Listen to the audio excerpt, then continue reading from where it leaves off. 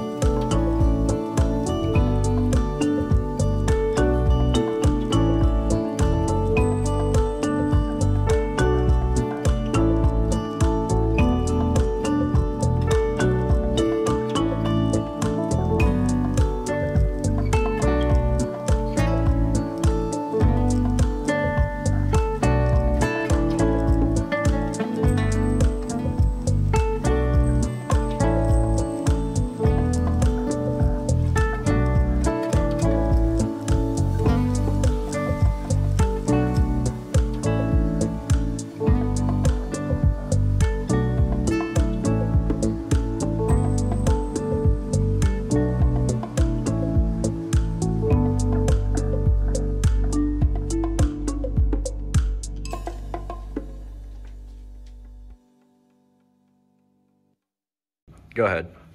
Hi, yeah, so my name's Chase. Here took Coney to Bulletproof Training. Uh, Riley was our trainer. Couldn't be any happier. He came in. Uh, he's doing everything we need him to do. He's listening. He's sitting on command, and he's being great. So I definitely recommend uh, Bulletproof Dog Training.